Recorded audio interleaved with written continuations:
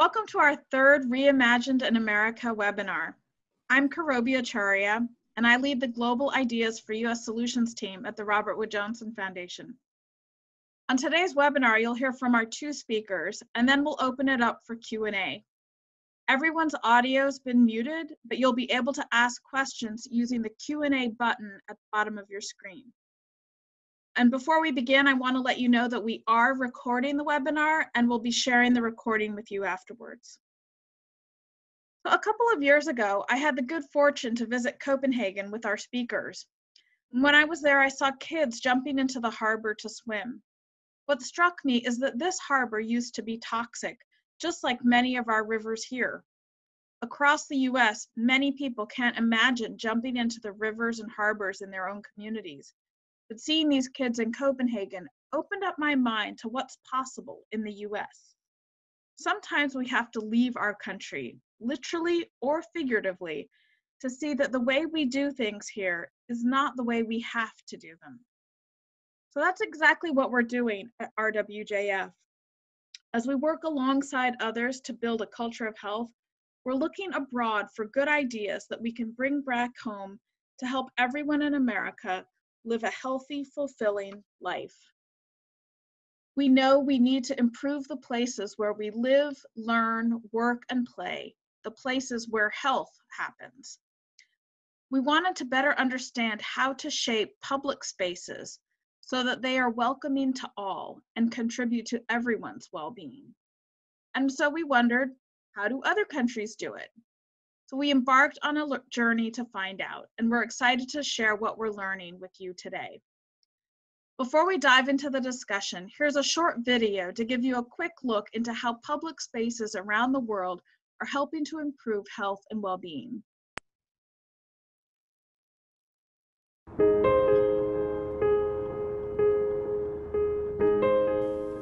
How do we know that a city is built for people and that all people feel welcome there. Ten years ago, this was all asphalt. Now, after being restored to its intended use, Shinley Plaza is a gathering place, a public space where everyone feels welcome.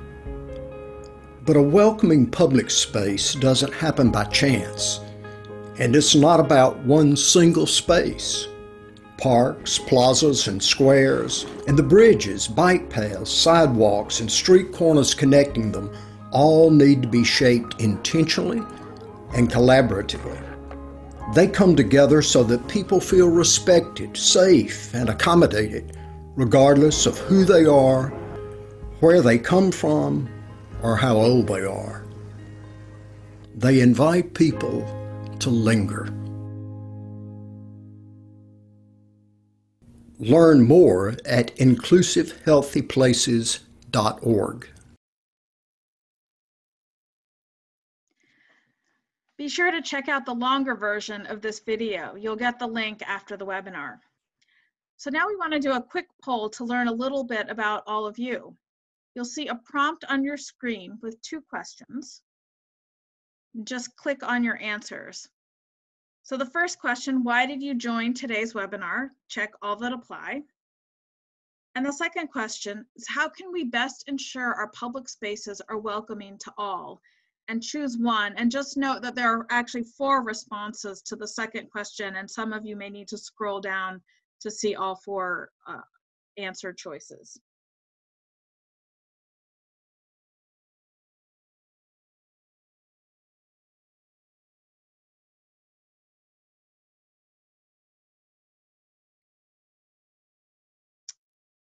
Okay, last chance to vote.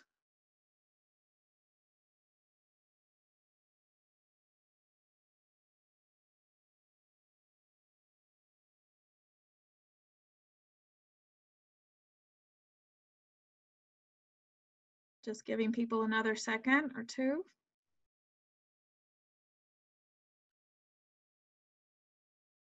Okay, let's see the results.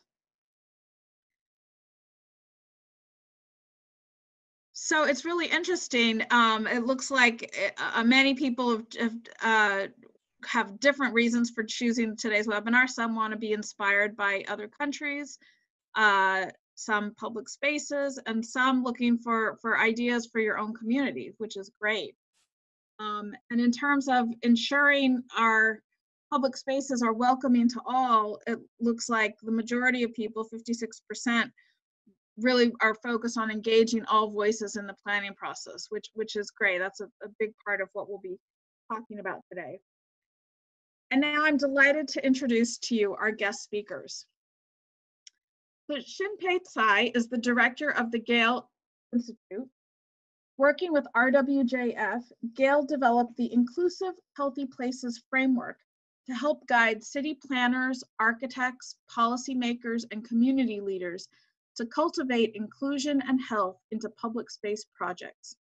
The framework is informed by best practices observed in cities around the world. Stephanie Gidigbi is Director and Senior Advisor for Urban Solutions at the Natural Resource Defense Council. Stephanie leads Spark, a $90 million investment in equitable infrastructure.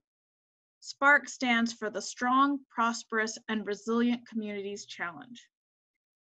I'd like to kick things off by asking Shin-pei and Stephanie a couple of questions, and then I'll turn it over to you, our audience, to ask questions yourself. So feel free to add questions into the Q&A function at the bottom of your screen. So let's get started. Shin-pei, you organized a study tour to Copenhagen and Malmo to learn about how other countries use their public spaces. Why did you choose those two places? It's such a good question, and it's not to say that those are um, the you know model places per se, but there were two cities that had incorporated um, social sustainability or policies around inclusion in their public spaces as part of the planning process.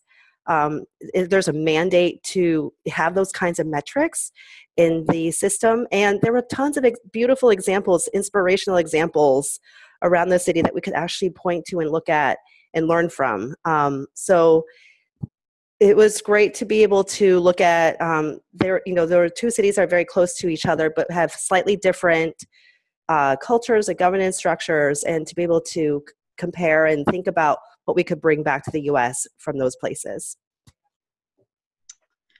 Thanks. And, and Stephanie, you were with Gehl on the study tour. What was your biggest takeaway on what the US could learn from places like that? Yes, it was truly a great opportunity and just being able to understand what was happening. And I think uh, three things that really come to me is just the importance of investment in the built environment and social programs. In Copenhagen, one of the things that we were able to really understand is the importance of targeted planning, capital, and social service support as areas of opportunities that they they coordinate together. The government has created an umbrella of policies at all levels of governance, and everything from the schools to the sidewalks are improved through robust community input, which was incredible in hearing, in addition to how they develop neighborhoods in a holistic way. Similarly, the cities of in, in the United States are doing um, work comparatively um, that really shifts from to a people-centered planning um, and being able to address the social determinants of health. I think the second piece that was very um, interesting was that they built on their commu- their existing community assets and the ways in which they were thinking about where they invested. And Copenhagen leaders built on um, plans that neighborhoods had already developed on and and they were able to really think about how they funded those projects in advance. Um, so I think one of the key points is just avoiding a one size fits all approach. And it was clear that they really thought about the neighborhoods that they were targeting. And then the final piece was that they actually addressed the immediate needs. Um, in a lot of our communities today, we often plan for who's coming, not necessarily who's here now and living in those neighborhoods. And it was really powerful to see the conscious investment that was made to address what residents were looking for and trying to incorporate in the regional values. That's great. Thanks. Shin-pei, coming out of this learning journey, you developed the Inclusive Healthy Places framework. Uh, tell us a little bit about it and what's your main and what the main takeaway is from that work. Yeah, it was such a privilege to be able to um, take a look at take a look at the um, ways that people, you know, the entire process by which places are shaped. To look at these other places, such as Copenhagen, Malmo, and then even you know other places throughout the world, and think about ways that they were um, striving for inclusion, and and to create a framework. And so it's a it's the framework is a bridge between public health and public spaces. It shows the role that the very important role that public spaces has in supporting public health particularly around the um, areas of inclusion. And I think, uh, you know, the work is really, it was a very iterative process. It, it involved interviews and um, beyond the literature review and study tours and, and sort of hands-on application with uh, people, you know, looking at things together and considering the um, kind of draft frameworks or ways of seeing setting up principles for this framework along the way. And what we ended up with after doing all of that learning together in addition to some analysis around you know existing frameworks um, was to create a living document something that could be improved on hopefully uh, that has four basic principles i think what really sets this framework apart from other frameworks is that um, only one of those four principles is involves design and programming that's something that um, in public space work there's a great emphasis on those kinds of elements. And the, the three other principles really reflect, um, try to extend the, the understanding so that we are much more deliberately inclusive.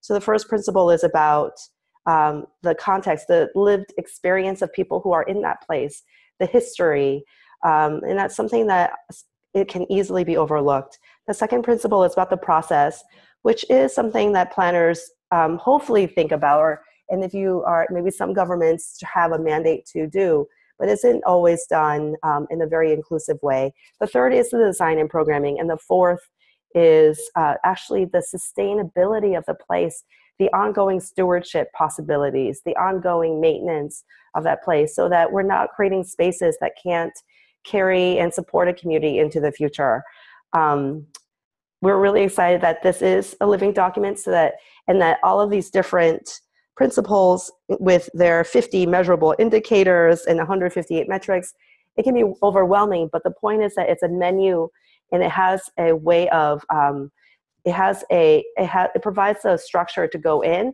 and then to add different kind of relevant pieces to the process that you might be undertaking. That's great. Thanks, Shin-pei. Um, Stephanie, you, you work with communities every day, and um, Shin-pei mentioned the, the emphasis that the framework has on inclusion. What does inclusion look like on the ground?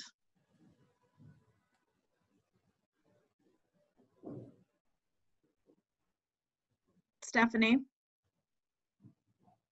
I think there's several aspects that the framework offers in the notion of inclusion. I think the first piece is really thinking about the characteristics of the people who are present. Like I stated earlier, oftentimes we are de de designing plans and places um, based off of who's coming, not necessarily who lives there, and being able to have a true understanding of the context of those who have lived there, the lived history, the lived experience is critical. And it means actually walking the streets, it means actually engaging in people uh, engaging with people. I think one of the things that was really powerful um, is being able to really experience and explore Copenhagen and Malmo at the street level and being able to go into different corridors and fully understand the lived experience for those who who who experience um, the the various neighborhoods that we visited. I'd like to also add that, um, particularly as we talk about uh, our learning journey to Copenhagen, folks often say, well, they they seem to be a very homogenous community. They don't necessarily have the same challenges that we do here in the States. And, you know, I think one of the lessons learned from the trip was really being able to understand that um, there is great diversity there and the challenges, particularly as it as it relates more specifically to race and income class um, were things that we really got to see firsthand. And in developing the framework, really being able to talk about those predictors of exclusion um, are one of the measurements that we talk about. And and again, the community assets and who uses them. What does it? How is it used? Um, one of the photos earlier on um, included a nightlife scene and the fact that they planned for one of their parks that really thought about who's going to be there at night. Oftentimes, when we think about our public spaces, we only think about it as a daytime experience. They also plan for homeless residents in, in, in the creation of their park benches. It was just really powerful to really think about the fact that they really thought about all users in that process and that they had a planning process that really did think about civic trust, participation, and building social capital, which again is part of um, the principles in the framework. And then I would also just add, um, you know, the quality of the public space, who had access, what accessibility meant, the use and the users who used it, and the safety and security that was found in it. Um, and I think all of these things just speak to the intentionality that was used in the designing elements, which I think is really powerful. Thank you. That's great. Um, Shin-pei, before we open it up to uh, to the audience, um, so for people who are interested in using this framework in their community, where do they start? How can they apply this in the real world, and what might they expect in terms of outcomes? Yeah, that's such a great uh, question. Um, we've actually had the privilege of taking this out for a test drive in the real world. Um, we've been working with the New York City Department of Health and to um, and, and use the framework to just design a research outline that would measure the impact of a uh, creative placemaking project that they have been supporting. Um, and what we were measuring with this project, it was basically um, the putting art on, it's called the 100 Gates Initiative and it's basically putting art on these um, you know like retail gates that come down at night um, which usually are just metal and don't have much going on. And it was looking at what happens if you try to enliven those kinds of places. We were trying to measure the perception of belonging and sense of place um, that using the framework we're able to really assess you know where where along the four principles are, are the um, the drivers that we care about where, where the what are the indicators um, that we want to measure? And then what can we actually um, foreseeably measure here? And there was a um, you know we did some light ethnography we did observations and we we used intercept surveys. So you you're hearing a whole smattering of different methods that are used in in the study um, it, to to help us understand the impact of uh, a creative placemaking project um, you know, and the other part of that project was also just seeing how usable the the metrics are, and that's something that we expect that we'll we hope to get a lot of feedback on. Um, you know, get, tell us tell us how it's going if you take this out for a ride. So unfortunately, I don't have any um, out insights from that specific project. We've just wrapped it up, and we're actually in the process of um, an- analyzing the data now. But overall, it was a great way of just even working with a city agency to show them that it was possible to take these measurements from projects they're doing and to make that connection between health and public space and the, and, and the social impact. Great, great. So um, we'll be turning to audience questions. So please remember to just uh, enter your questions into the Q&A box that's, uh, that's at the bottom of your screen.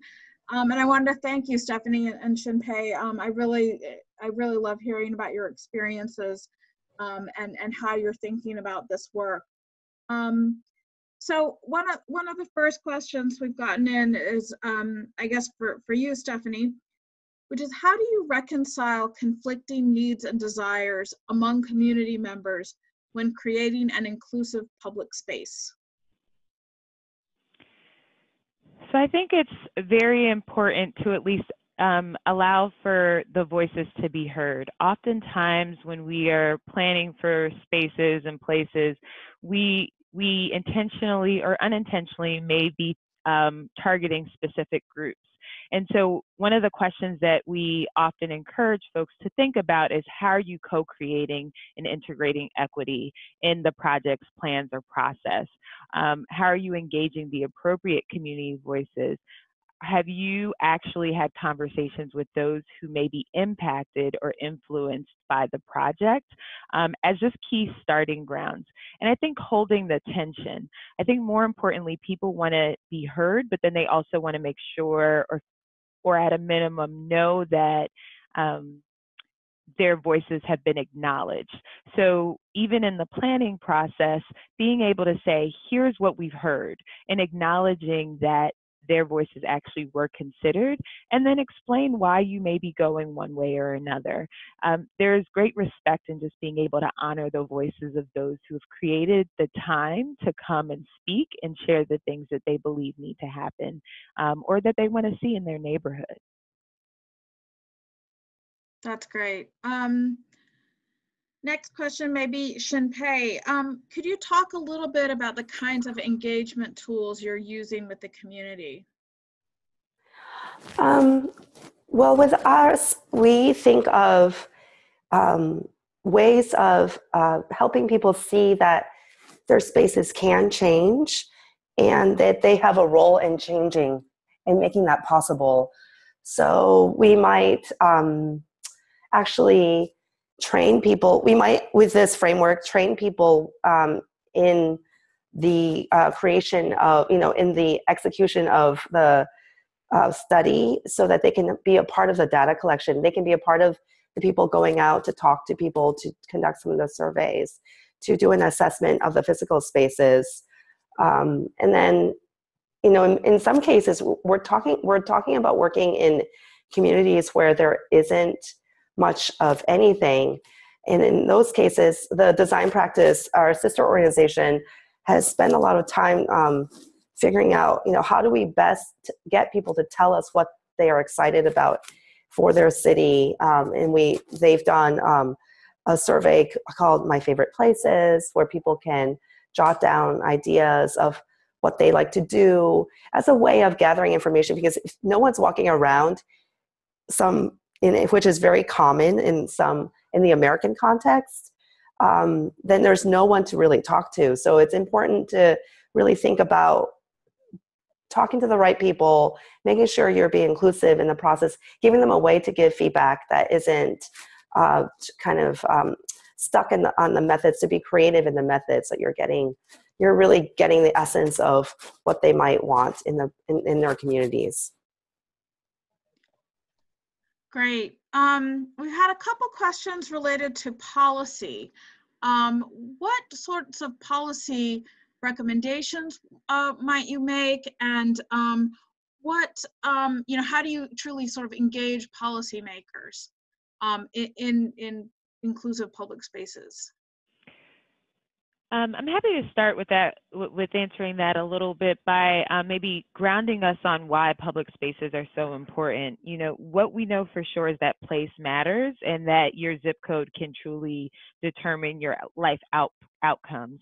And so, really thinking about how um, the the, the, spaces and places that we engage um, tells a story about what's working and what's not working oftentimes with the system. You can travel anywhere in really America or the world and be able to learn so much based off of the public spaces. And so one of the things that we often ask ourselves, at least within Spark, is who's benefiting and who's burdened by the policies that may be um, that we may be putting into place, or even the plan that we may be doing. Um, because oftentimes we don't necessarily consider the unintended consequences. We are all doing the best in terms of um, our intentions for why we believe things should happen, but asking that very basic question can allow us to really see um, you know, if we're creating harm and really thinking about how we do a do no harm policy, and when we do identify a harm, being able to really think about how we mitigate for those challenges in advance. I think these are really simple things that um, really help us to really start thinking more intentionally and inclusively in in in the unintended consequences in advance of those things happening creating those spaces on specific policies i think it's being able, and, and it's been really powerful working with local advocates through Spark, um, their recognition that it's it takes many. So it's not just advocates, it's not just elected officials, it's not just academics, it's not just the local practitioners of planners. Um, it requires everyone um, and including the private sector, to really think about how these investments are being made. And it, it is in the collaboration of the table really coming together and in working on the execution of the plan that I think really allows for transformative outcomes. And I think that's one of the things that we did get a chance to see in Copenhagen. We saw the government, we saw the local community planter, uh, planners being embedded in communities for the five years of being able to execute on a plan. We saw local advocates being able to hear their voices heard in the process. And so it was just really powerful to see the intentionality of even how policies and the plans and then the implementation, how all of those things were happening in um, coordination with one another, with so many different groups coming to the table. That's great. And, and I think sort of a natural follow-on question is, uh, comes from someone sort of, and Shin-pei, you might want to address this one. Um, can US cities afford the design decisions that European cities like Copenhagen make? Or is the US public sector just too under resourced? And I know you have done a lot of work in, in New York and, and other US cities, and, and I wonder if you might speak to that. Yeah, I, you know, I think it's one of those misconceptions maybe that public spaces need a, a lot of high design um, or, um, you know, what they need in terms of resources is stewardship and and the stuff that makes a difference can be quite small so long as they're implemented uh, universally throughout a city. So when you when you are thinking about inclusive practices thinking about what actually helps you know for example in the united states actually curb cuts are a very small detail but have but are really a symbol of inclusion but they're very rarely ubiquitously applied throughout an entire city. So, you know, the, those kinds of details make a huge difference in public spaces. Um, and it's, it's, the, it's the universal application, I think, that has the biggest potential. We often don't take advantage of the opportunities to collaborate and um, create public spaces that are a combination of maybe you know um, the resources from parks and transportation. So you're looking at the edges of a park and how to extend the boundaries um, or perhaps it's environmental protection and uh, and parks because you're thinking about um, stormwater management and um, plantings and uh, you know the kinds of resources that you put there. So i think that maybe with the metrics that we're talking about here, that's something that European cities are have a little bit more practice around. That has actually enabled that interagency collaboration and a sharing of resources. That is something that we could adopt on the U.S. side. I would also add that um, we spend billions of dollars in infrastructure, and what we're seeing um, based off of the elections is that people are willing to pay for um, local projects that they see actually benefiting them.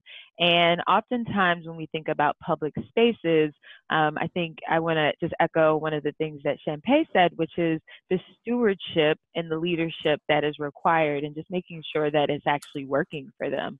There are a lot of underutilized parks in spaces and places in part because um, it's not serving the community and really addressing their mo- more immediate needs. And I think being able to leverage um, the opportunities when investments are being made and thinking about all of those pieces together allows for a better design.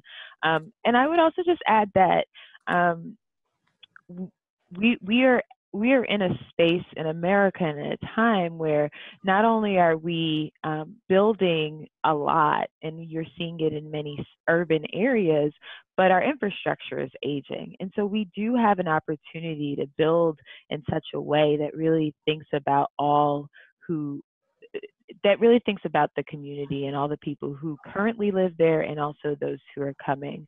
Um, I would I would like to just maybe echo one more piece that Shin-pei said, which is I think the notion of how we think about um, inclusion in a way that we measure what matters. And oftentimes we don't really think about um, that and and that we really need to think about what are people using and the assets that they need and then making the investments based off of that because i would say that to invest a billion dollars and it still not necessarily meet our immediate needs or outcomes means that we're probably not spending it correctly and i think that there's an opportunity to invest in a way that allows for more equitable outcomes, but also for every age and every ability, um, even as we talk about the curb cut effect and what that means. It's one of the best examples um, actually done by um, Angela Glover Blackwell from PolicyLink, where she talks about the fact that we all have benefited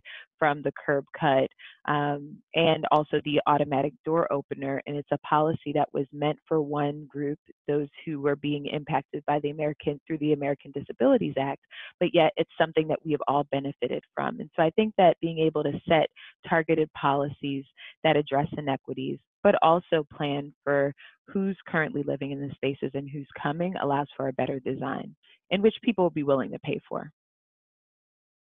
That's great. That's great. Um, so we have someone who, who says that they live in a smaller community in a more rural part of the US. And I'm wondering if, if either of you might speak to how, how does the framework apply to more rural communities? How do we think about inclusive, uh, healthy places in more rural parts of the country? Whoever wants to respond. Oh, well, this is Shin-pei. I can take a first stab at this.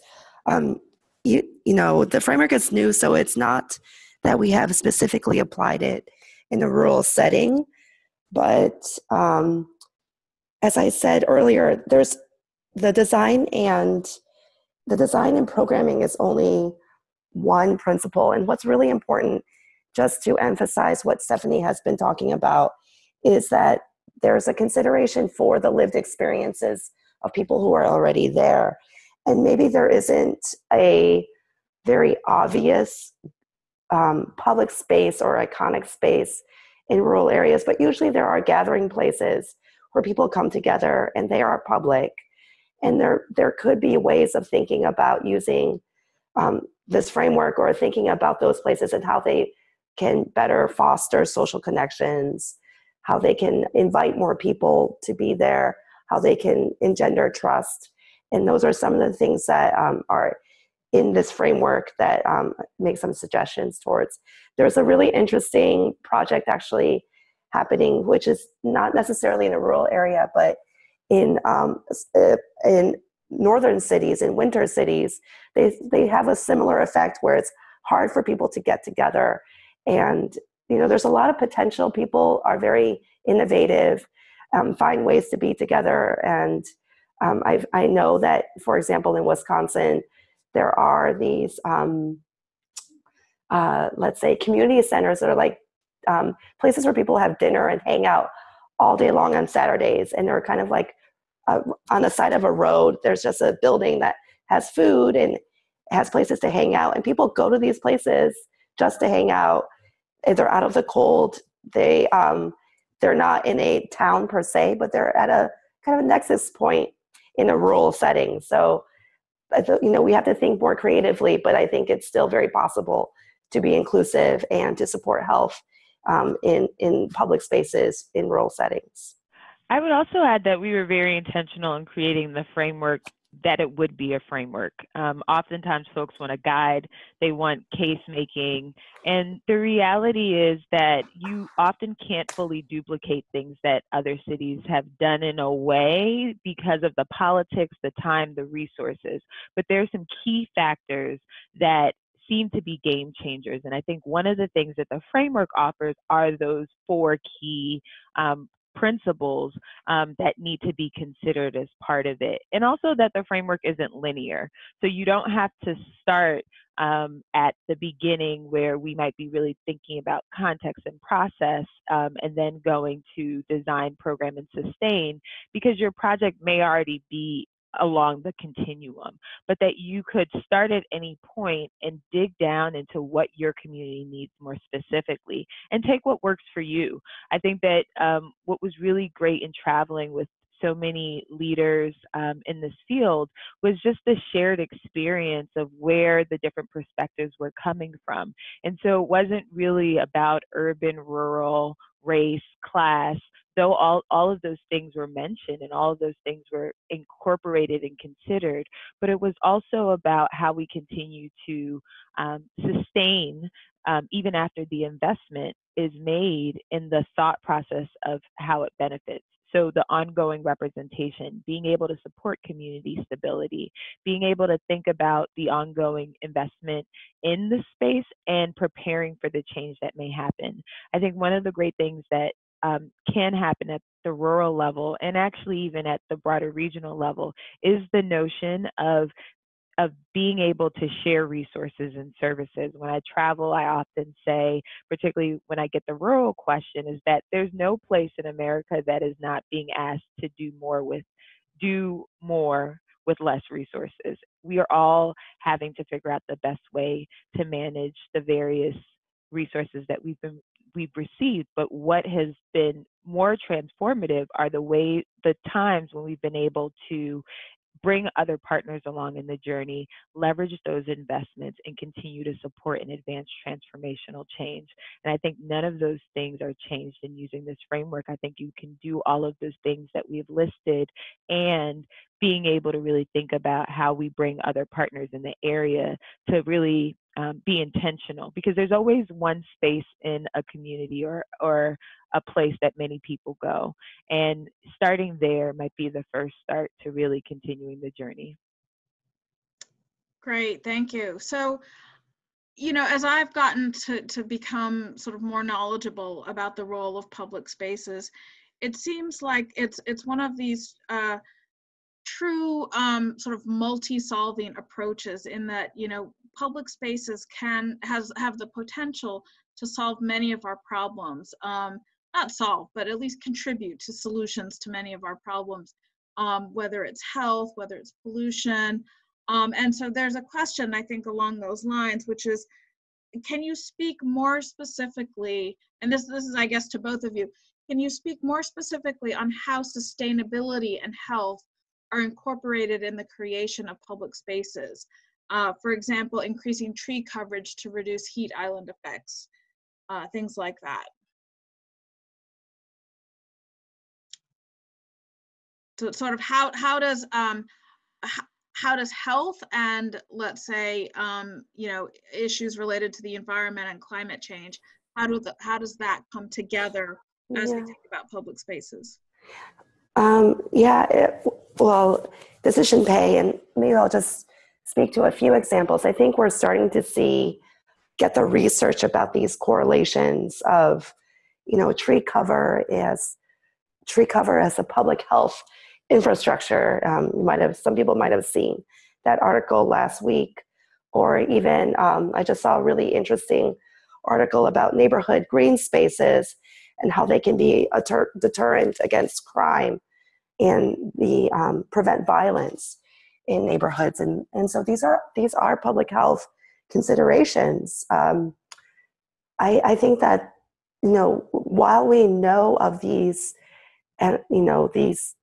um, correlations and um, how they can support how these two sectors can support each other i think this framework is actually an attempt to provide some provide ways of gathering more evidence for the for us to show that that is obviously very true. Um, and and, and I think it I, and I think what this question is really getting beyond is you know it, it goes beyond maybe the um, kind of obvious uh, climate change effects from um, extreme extreme um, natural events right we're not talking about that we're talking about sort of the everyday kind of infrastructure both green infrastructure and thinking about ways that that can work together. And obviously, public space itself, um, just to uh, reiterate um, a point Stephanie was making, is infrastructure in its own way. It's a system of spaces where people make social connections, and um, and obviously then with all these different systems overlaid, there's a way that we can make sure, uh, and this is what the research has been bearing out, that that the, that system can reach and bring us health outcomes, um, you know, whether it's mental health or physical health, um, or you know, or the social, um, the social um, needs of being a human being, or it's the environmental benefits of having public spaces. I would also um, add the maybe just starting at the beginning of like when we think about the word sustain, it means to support, to uphold, to endure, um, to provide what is needed to exist. And I think that there is a great opportunity that building um, inclusive, healthy places offers and just being able to allow for people to sustain. Um, but then when we go to the core principles of sustainability, there are three key pillars, and we often talk about it as the social inclusion, the economic prosperity, and the environmental stewardship. Um, what I would say is that for a very long time, um, we've probably, and I sit at a at, at, a large green organization representing NRDC, we've done a we've done a lot in really thinking about the environmental aspect and even the economic. But the intersection between the social inclusion is one where we still have a lot of work and opportunity to to do more on. And um, I think just grounding us in that reality when we think about the people aspect, um, in addition to the planet and the profit, um, there is really an opportunity for us to really ask those questions around who, again, going back to that basic question of who's good, who's benefiting and who's burdened by it. And I think one of the things that the framework offers um, is actually the fourth pillar, which is to sustain of the uh, principles. And it, as part of that, it's really thinking about how do you continue that ongoing representation. But I think throughout the framework, we ask those key questions and being able to offer context around. Um, the vulnerability. Uh, one of the things that we have been doing at NRDC is really looking at through Spark um, uh, doing a, a, a, climate vulnerability assessment.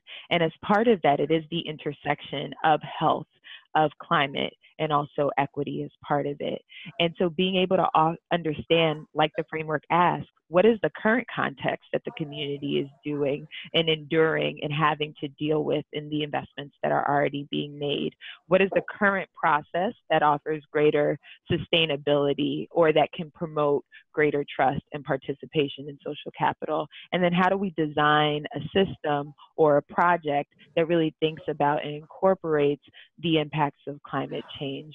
Um, I think things like sea level rise, the temperature, the, particip- the precipitation that we're feeling, the storms, even the wildfires that we are seeing offers a great space for us to really think about again, some of these very basic things. What is the context? In what neighborhood? What does that mean? And being able, again, to ask that question of who will benefit and who will be burdened by this investment, and even holding that climate change factors um, that people do need to be able to sustain and endure long after the investments, and also long after Mother Nature has taken hold of some of the issues that may impact a community.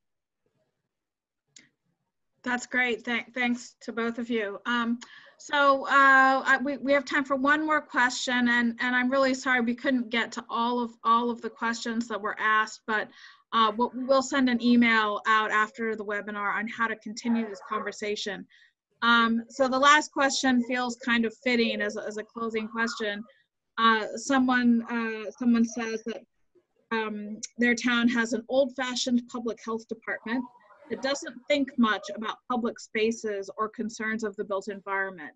Um, what ideas do you have to bring them around? And um, and I guess that's to both of you, but I, I'll just start by maybe saying that this is an area that the foundation has um, invested quite a lot uh, of, of time and, and, and resources um, into this question is the role of place and health. And of, of course, Stephanie, you mentioned the, uh, just the data we have about the role of place in life expectancy, for example. So, um, Stephanie, maybe do you want to start and then Shin-pei can add in?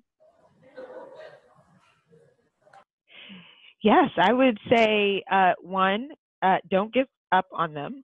Uh, invite them into the spaces where people are and have the conversations. And, um, you know, I think have encourage encourage um, them through your support. I think oftentimes people get very flustered when we start to talk about things outside of their um, practitioner, uh, their, their areas of expertise, we hold on to wanting to feel like we are the experts of a specific way of doing things. Um, but I think to the extent that you're able to bring others along in inviting them into the conversations and letting them know that they don't have to have all the solutions and that this is an opportunity like this framework where we are actively testing and innovating in real time um, to use what works for your community is a great start. And I would also just um, maybe also think about incorporating and finding ways to give them the support that they need by partnering with academic institutions where you could have students who have maybe newer knowledge and opportunities to help support their work so that they don't feel like they're by themselves in the process and that you're supporting them with some of the resources that could be available and bringing fresh new ideas. It's something that we um, I've done at various different levels, and it, it, does seem to work because I do think that um, ultimately people want to do better, but um, with limited resources or, or, the perception of limited resources and time, um, they feel like they can only stick to what they know. And I think being able to help them along the learning journey allows for all of us to thrive in the process. Yeah, I, I second a lot of what Stephanie said, and just um, want to just offer a couple of um, build on on that and offer a couple of suggestions. One is, you know, often people who are maybe in a more conservative culturally cultural setting, and in terms of conservative in the sense of being opposed to change, um, they often feel maybe that new ideas are an additional burden or that they're not appreciated for what they're already trying to do. And so I think it's important to show how your ideas fit into what they're trying to achieve. And you generally public servants really care about what they're about, you know, what about their role and about their job and what they are bringing to a community, even if you happen to disagree with them. So, um, you know, trying to find a way to make what you want a part of, you know, what a part of what they do rather than an additional thing that they have to figure out on their own um, is one way of doing it. And then figuring out experiences so you can really maybe get them outside of their um, comfort zone and put them in new settings. I, I had a boss who was in charge of trying to bring people together a lot and he had to take he had to figure out a way to get the you know the engineer out of their um, old ways of thinking and so he convened a meeting because uh, it was a regional organization he and they have purview over the zoo he actually made everyone meet at the zoo. And and they talked about what they needed to talk about but in the setting where they were surrounded by animals and and, and it was about something really new and different. So people re- really just um, were in a really different setting and that's that's actually what our learning journey was all about was to really challenge what we um, you know challenge the assumptions we don't even know that we have and to be able to see that things can be different. Wonderful. I love that to challenge the assumptions we don't even know that we have. I think that that's that's great. So this has been a really great discussion, and and of course I wish we had more time. Thank you so much, uh, Stephanie and Shin-pei. Um, I wanted to close by just sharing one final example from our trip to Copenhagen um, that really uh, made me think about inclusion in, in perhaps a, a, deeper way. And it has to do with trash cans. So, um, just like in many cities, um, people in Copenhagen can return used bottles and cans for cash. Um, but in Copenhagen, the trash cans are equipped with uh, small sort of deposit shelves. You can see in this picture of the trash can on the on the right, um, where they can place recyclables. So this makes it easier, safer, and more sanitary for people to collect discarded bottles and cans. There's no digging through smelly garbage or sharp glass. Um, the the uh, photo on the left is a uh, is a trash can that is geared towards cyclists, because of course, lots of cyclists in, in Copenhagen.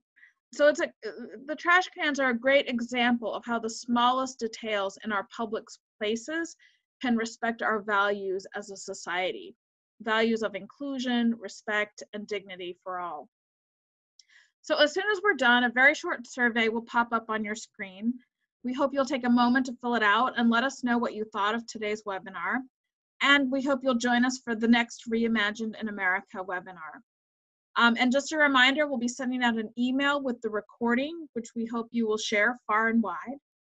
And with that, I'd like to say thanks again to Shin-pei and Stephanie and to everyone who joined us here today. Please fill out the survey and have a great rest of your day.